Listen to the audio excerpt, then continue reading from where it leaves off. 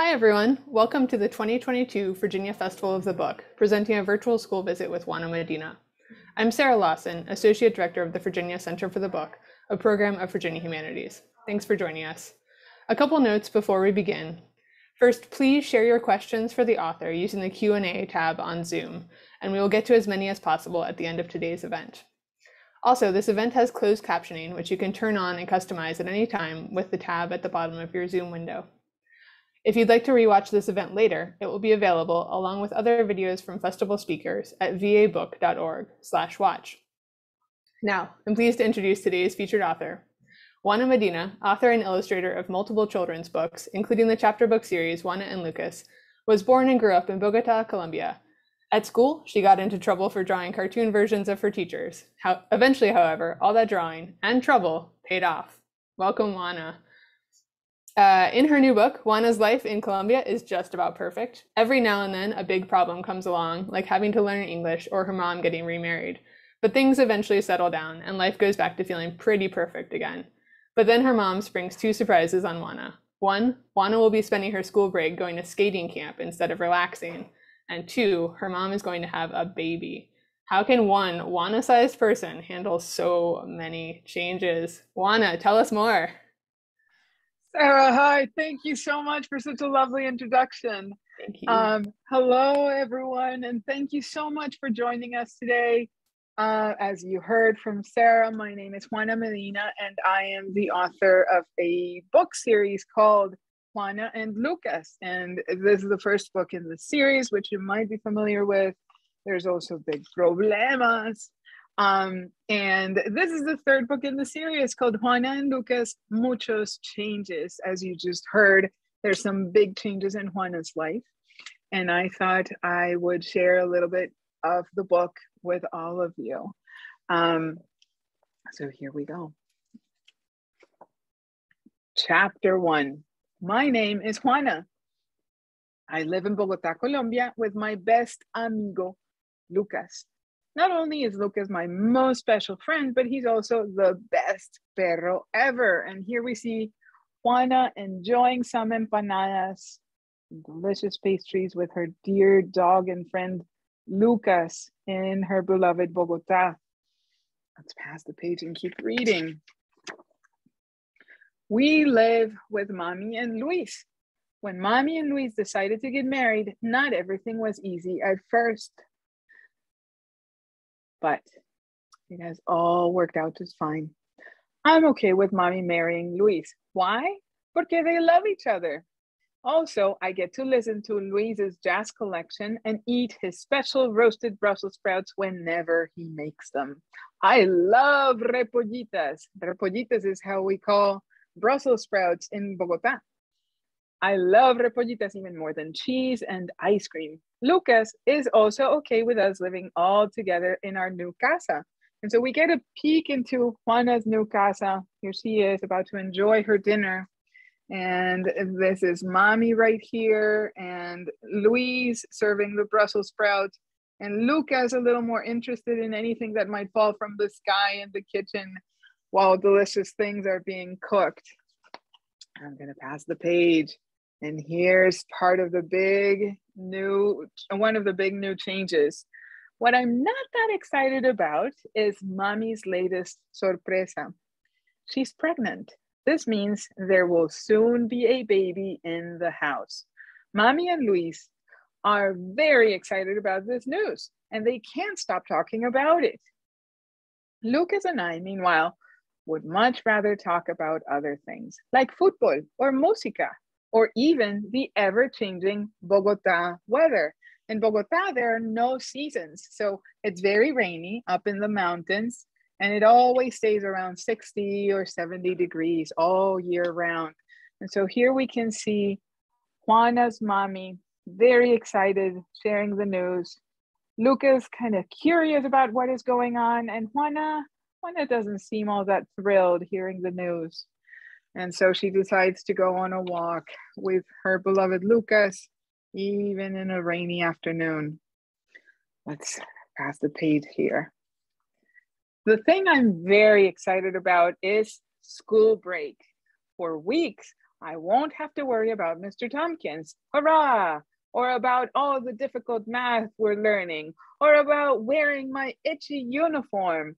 Hopefully, none of you have to wear an itchy uniform. Bravo! And so here we see Juana in her underpants, throwing out that itchy skirt and that blazer.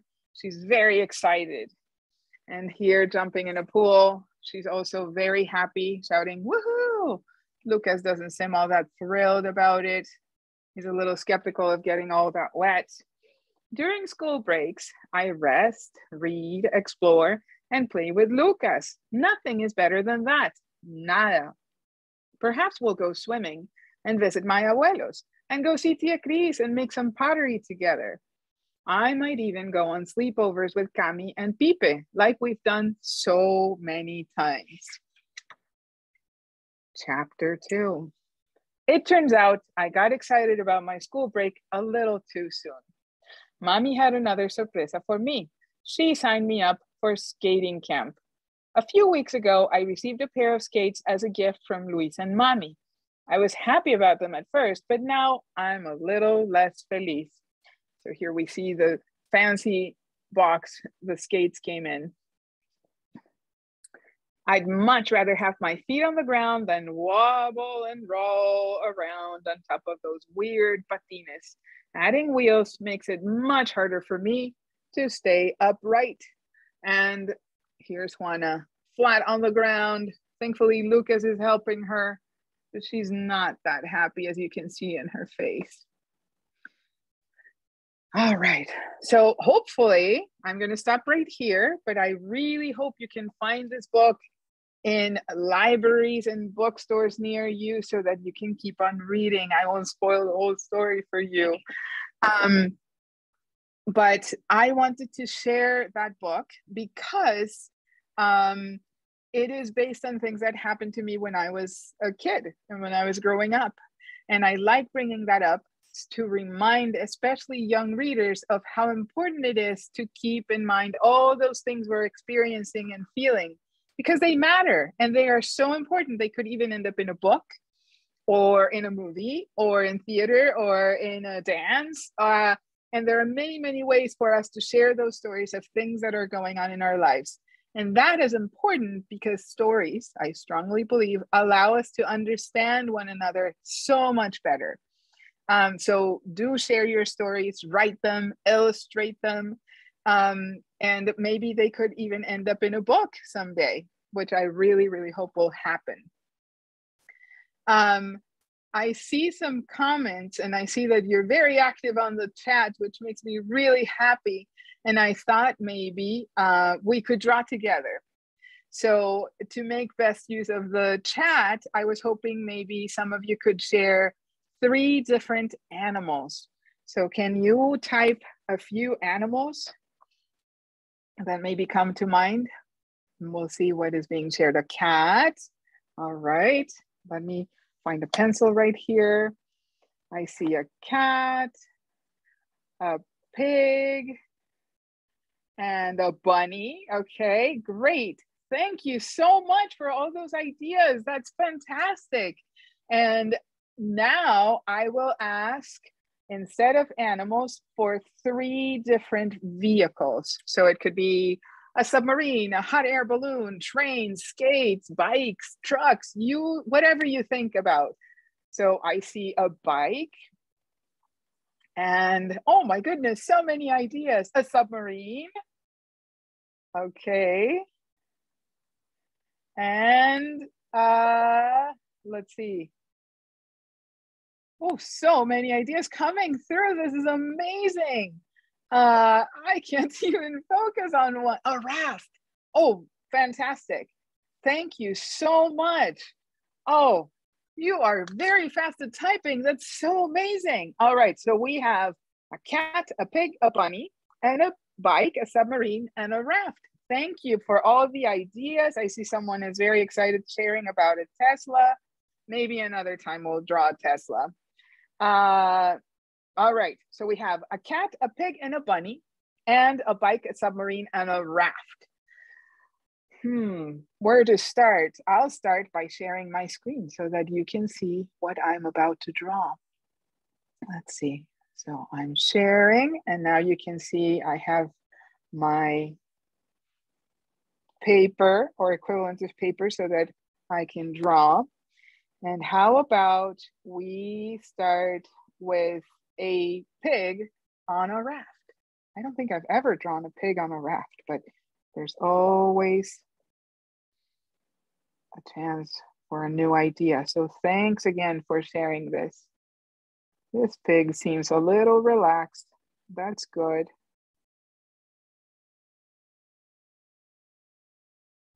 There's one log and another log. This piggy has a leg in the water. I hope there's no piranhas or sharks in that water. And let's continue drawing this raft. We need more and more logs.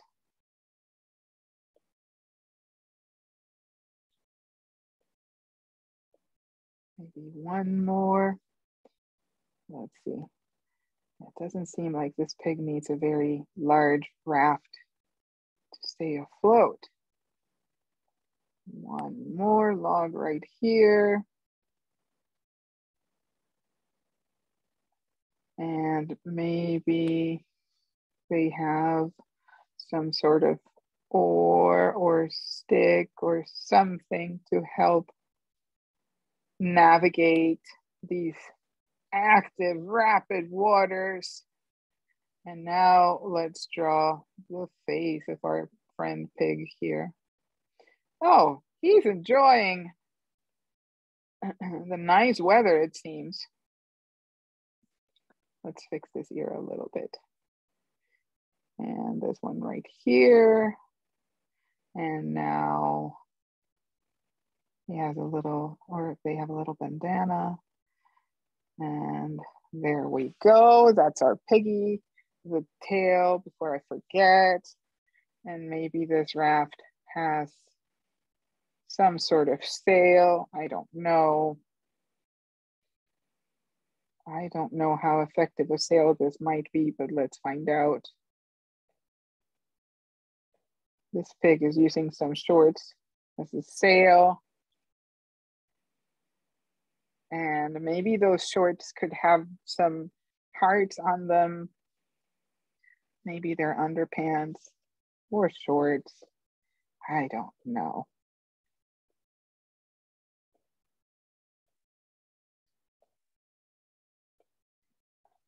I don't know if you've ever seen a piggy on a raft, but that is the fun thing about being able to use our imagination and our creativity for drawing and starting stories and using stories in new ways. Well, it seems like it's windy. That's good. And let's draw some more water here. There we go. Uh, maybe we can draw something on, maybe it's a polka dots on his bandana. All right. Seems like that piggy is surely enjoying that nice time on a raft. Not adrift, not lost, at least not for now.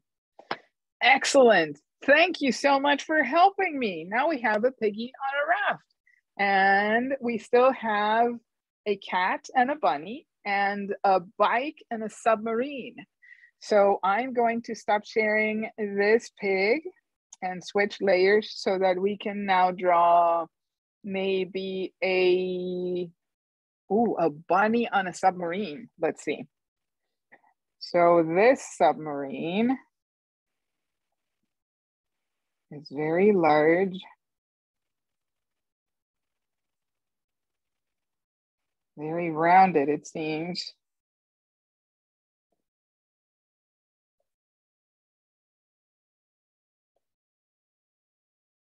And let's draw some windows, right? So that they can see underwater.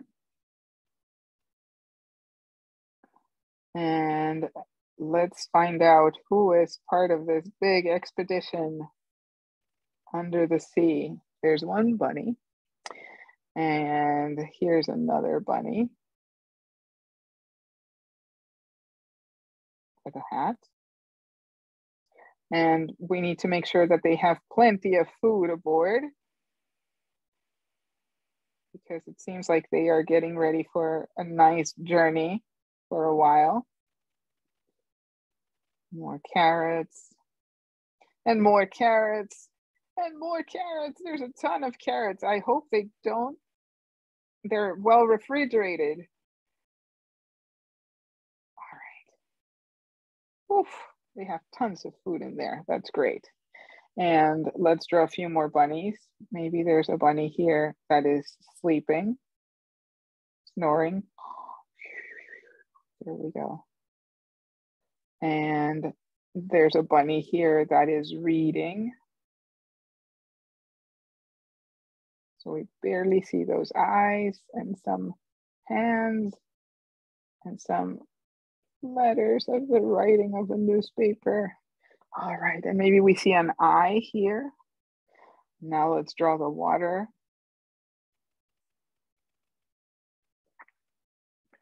And we see some bubbles, knowing that they're moving in the ocean. Maybe there's a shark right here.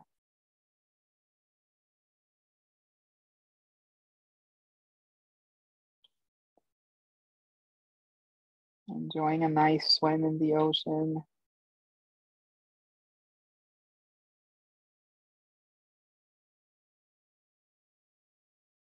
There's a shark, and maybe here we see a whale or part of a whale.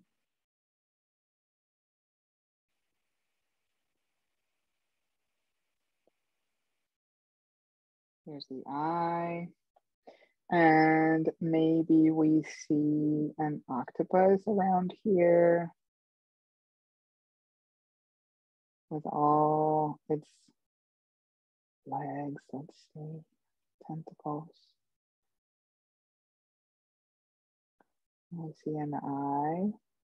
All right, and some smaller fish.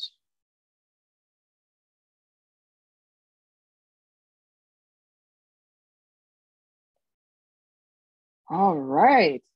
That seems like a nice adventure. Maybe we can see here a pirate's treasure. Tons of things going under the surface. A lot of gold coins and maybe a necklace. And maybe there's some some algae growing around it. It's been buried for a long time and we see some sand. So again, we can use our imagination to create new things or things that might not exist in reality, but that we can draw and envision in our imagination. And we still have one more idea. It was a cat, right? And a bike. I love bikes so much. So let's switch layers and start drawing our bike. So here we go. One and two. I've been drawing a lot of bikes because I'm working right now on a book about an elephant that is learning how to ride a bike. And as the elephant is learning how to ride a bike, I'm learning better and better how to draw bikes, which I find particularly hard to do. So hopefully I'll do a decent job drawing this bike. Okay, so we have the main structure of the bike. See, I already drew this sort of different from what bikes tend to be like. This goes a little shorter like this, and this goes like this. But since we're using our imagination, I think it's okay if we draw a bit of a different bike. And let's give this bike a nice big basket for something our friend cat could be carrying. And now we're missing the pedals, but we have a problem I don't think cats have very long legs. So we need to solve this problem somehow. And again, using our imagination, we'll need to figure out a way for the cat to ride this bike. Or maybe it turns out there's more than one cat. So I'm going to add another layer and I'm going to draw here one leg and another hind leg and one arm and a head and another arm and a long tail. And now we need to draw another cat down here with the other pedal.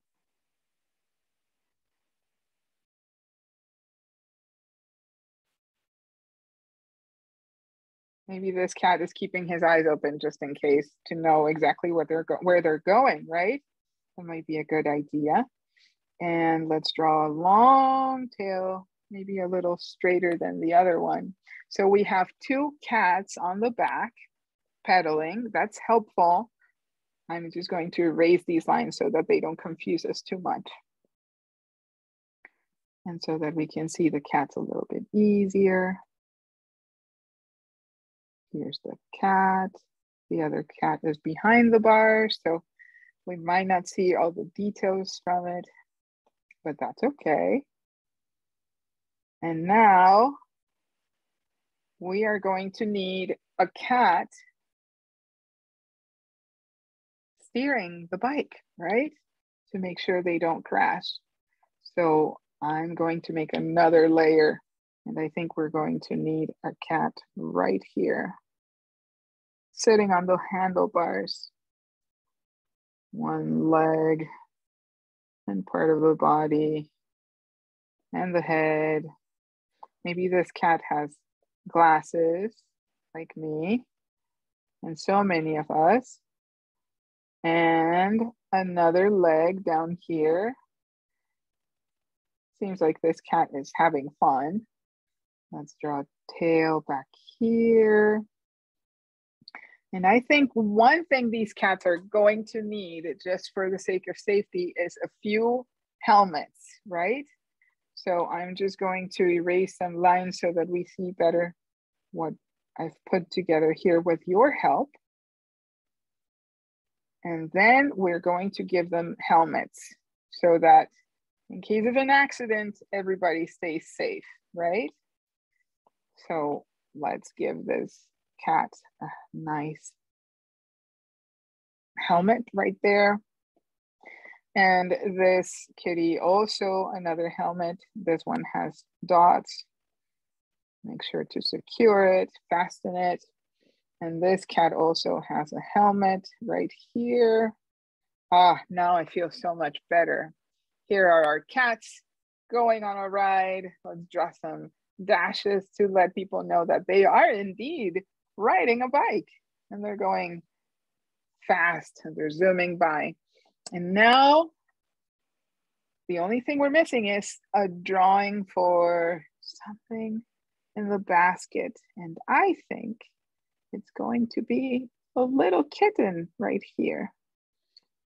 I'm drawing the helmet first so I don't forget it.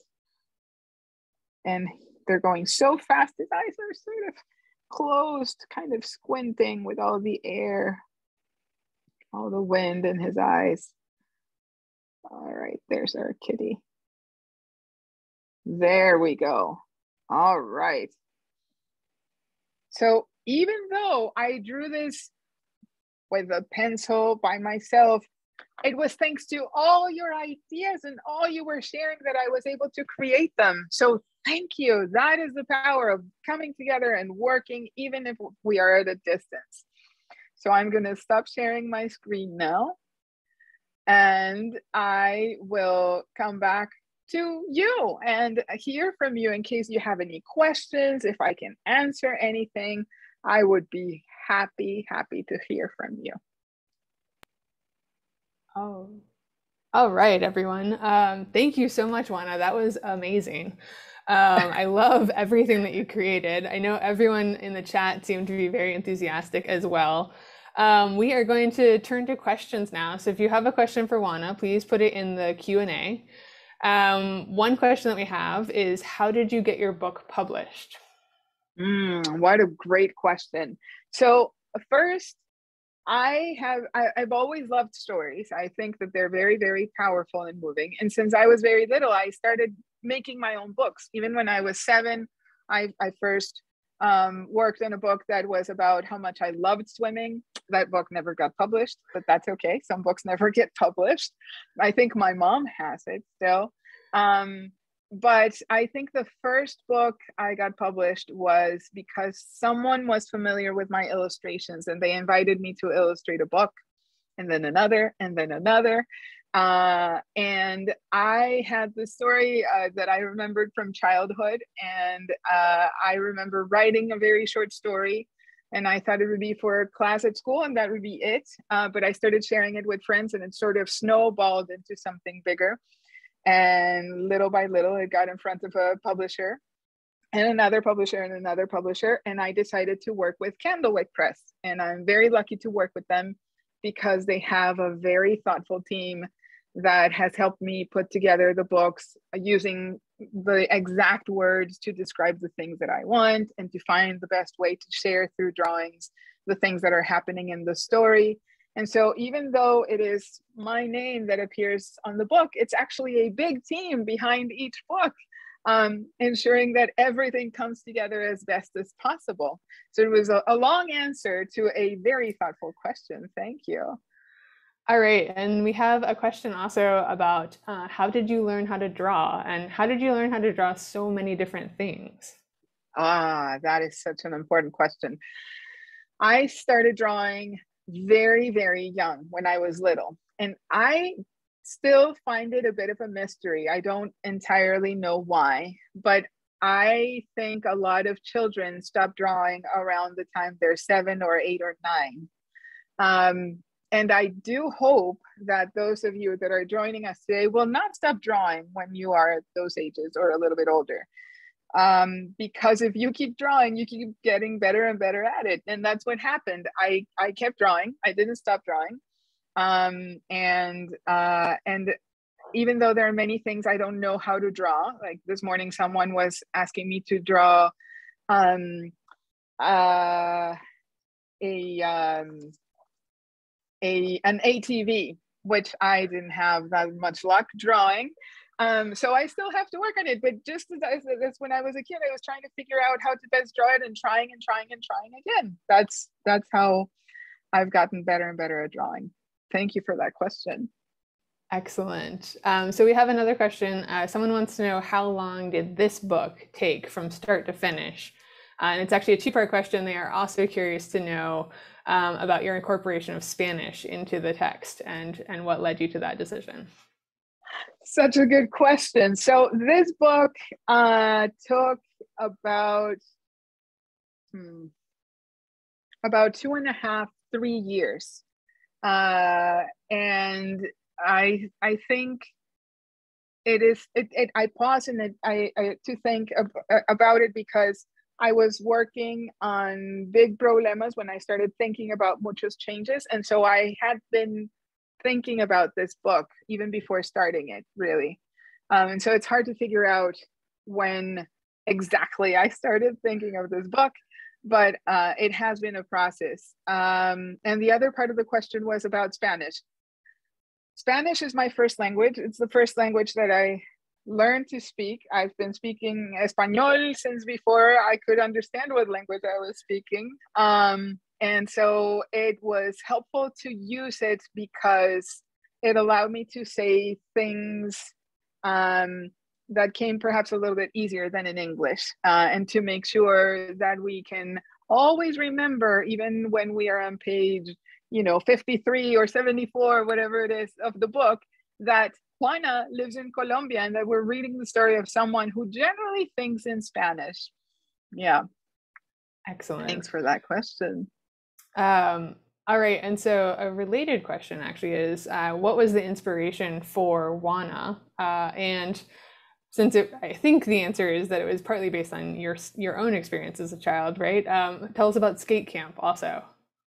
Ah, okay. So yes, it is inspired in things that happened to me growing up. Juana and Lucas, the whole series is inspired in things that happened to me when I was a kid. And I think it is important for me to share here that when I was growing up in Colombia, most of the stories I was reading as a child were about boys and also about boys that were growing up in places that were very far and removed from Colombia. And so for the longest time, I felt like my story did not belong in books, that it, books were not meant for people that looked or or had a life like mine. Uh, and with time, thankfully, I realized that I was incorrect, that that's not true, and that there's plenty of room for very many different stories in children's books, thankfully. And so that's why I try to share so much, especially with young readers, the importance of them sharing their stories, even if it is about something like skating camp. And so um, I wasn't that curious about skating. I'm a very clumsy human being. I tend to fall very easily. And so I that worried me.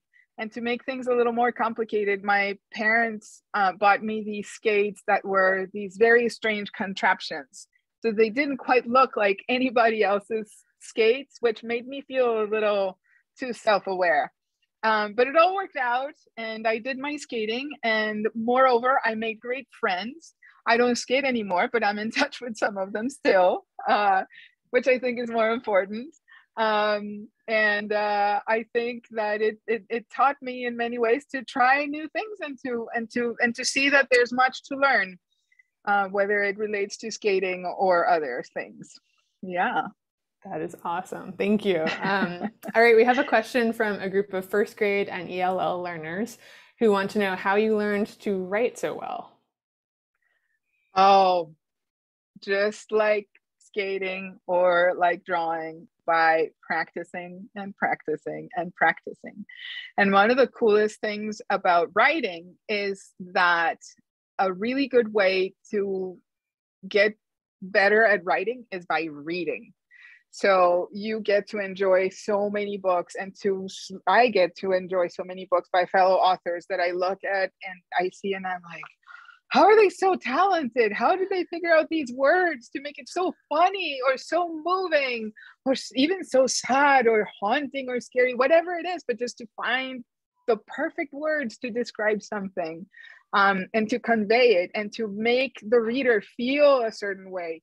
I find that very special. And so I think um, for young readers, I invite them to read as much as they write, um, hoping that they will find much inspiration and big challenges to find new ways of writing. Awesome, thank you. And we have some great comments in the Q and A also from uh, one person who says, "I want to be an author," another person who says that they have made a book as well. So oh, I hope you wonderful. all keep that up. Yeah. Absolutely. Um, let's see. So um, we also have a question about how did you come up with character names besides Juana? Mm-hmm.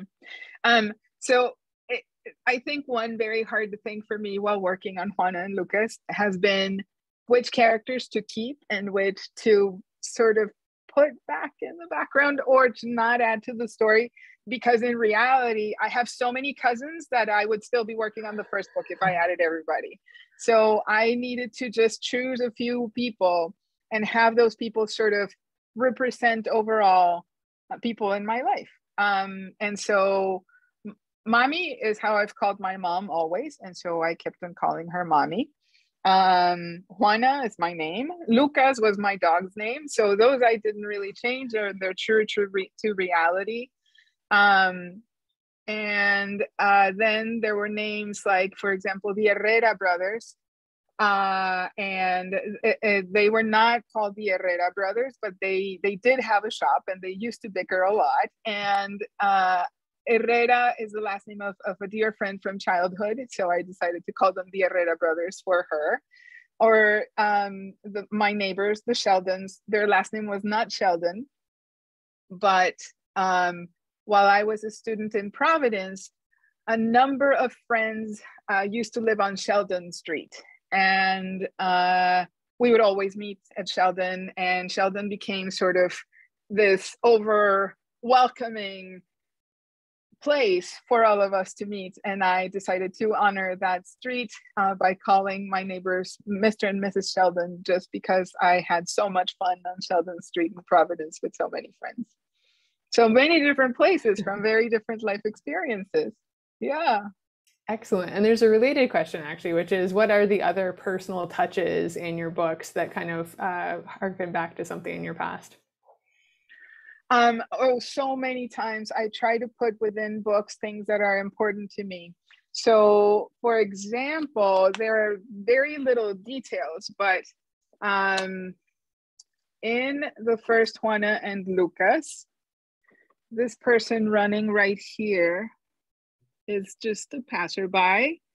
She's also my wife. Uh, and so I decided to draw her into the book, having a run around Bogota, which is something that she would do while we were visiting Bogota.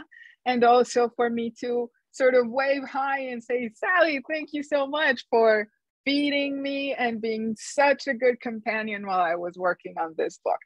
And so there are details like that throughout the books. Um, some of the cars, for example, are based on the cars that my parents had when I was growing up. Uh, some of the details within the houses are details that my grandparents had or that were in my parents' house. Um, because I feel nostalgic. There are places in Colombia I'll never be able to visit again. They don't exist anymore, like my childhood uh, house. And so um, that was a way for me to find again some comfort in finding them again in some sort of version, even, even if I was just drawing them. Thanks for that question. Excellent. All right. So, a really great question uh, that I was going to ask you, but someone else mm-hmm. has put the question in the chat as well. So, I feel better now. Um, but someone wants to know how do I become an artist? And you mentioned going to school in Providence. So, tell us more about that. Right. So, to tell you the truth, I grew up in a family where if pretty much almost everybody drew or did some artistic thing. So, my aunt did pottery, my grandmother was a carpenter, my grandfather was a brain surgeon, but he was very, very good at drafting and drawing. So I always thought growing up that everybody drew. And when somebody said would say to me, no, no, no, I don't draw, I'd be like, what is it? Do you need a pencil or paper? Why can't you draw? Um, and little by little, I realized that not everybody has talent to draw, just like I don't have the talent for skating or for math necessarily um, it doesn't mean I won't try it, but you know, some of us are a little more skilled than others uh, at certain or adept at certain things. And drawing comes sort of easy to me, and it's something that I enjoy greatly. It took me a long time, and I think for a long time I didn't have the confidence to realize that it was something I could do and that I could share with the world. So it took me a while, and going to art school helped me gain skills and practice and a better understanding of drawing. And little by bit, little, I've been building that confidence so that I can share those drawings with all of you. Yeah, so I would hope that whoever wants to become an artist just puts in all the work. And sometimes it's intimidating and sometimes it's exhausting, um, but it's worth trying, definitely. And we have a lot of questions in the Q&A about how old you were when you first knew you were going to be an artist and also when you first wrote your first book. Okay, so the first book I wrote, I think as I shared earlier, was about swimming. Um, and I was about seven years old and it remains unpublished, but it helped me realize how much I loved stories and how important they were to me. And so I had kept on thinking of how important stories were. It wasn't until I was 25 or so that I first illustrated a book to be published. Um, and from there on, that has led from one project and another, and people see the illustrations and they're interested in working with me, which is always an honor, truly. It's quite flattering when I receive an invitation to illustrate something. Um, so it it varies. I mean, I can't say, I mean, now I'm 41 and I'm still interested in, in working in more projects. And I hope that when I'm 88, I'm still interested in working on some illustrated projects. So I don't think it relates too much to age as, as it relates to how interested you are in pursuing something. Yeah. Great takeaway. Thank you. Um, someone in the Q&A would like to know what your biggest challenge has been as an author. Mm, my biggest challenge as an author. I think the biggest challenge for me is to realize that I have limited amounts of time and to know how to best make use of that time so that I can work as best as possible without working until four in the morning, which is something that sometimes can be good, but not every night. And also to make sure that I'm making time to rest and to take good care of myself and to make friends and to stay you know alive in many different ways. So i think that is my biggest challenge trying to figure out how to best make use of my time. Yeah awesome. All right uh, we're down to just a few minutes left so i'm looking through the questions that are here. Um, here's one. What was your favorite book when you were growing up?